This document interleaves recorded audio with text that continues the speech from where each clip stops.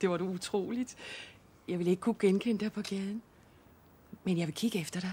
Mm. Farven har jeg lånt af fru Sjøstrøm. Kan du se med de briller? Næsten ikke.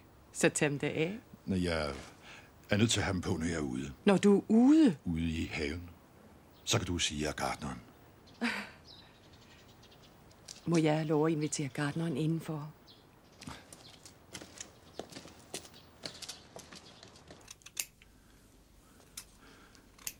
Der er noget, jeg har tænkt på. Sverige? Sjøstrøm skal ikke løbe den risiko. Ja, det var nu sagen. Sagen? Ja, de to drab. Især det første.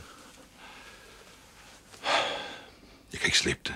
Lige nu er det farligere at være dig, end at være, være en eller anden morder. Ja.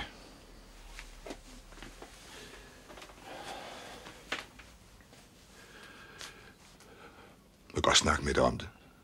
Jeg vil godt bruge det sådan, ligesom jeg plejede at bruge Andersen. Ja. Hvis du lover at finde ud af, hvordan du kommer til Sverige i en fart.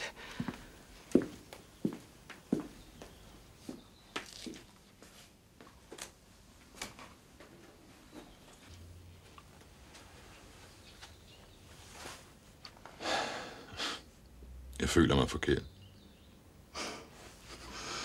Fået en ny mand.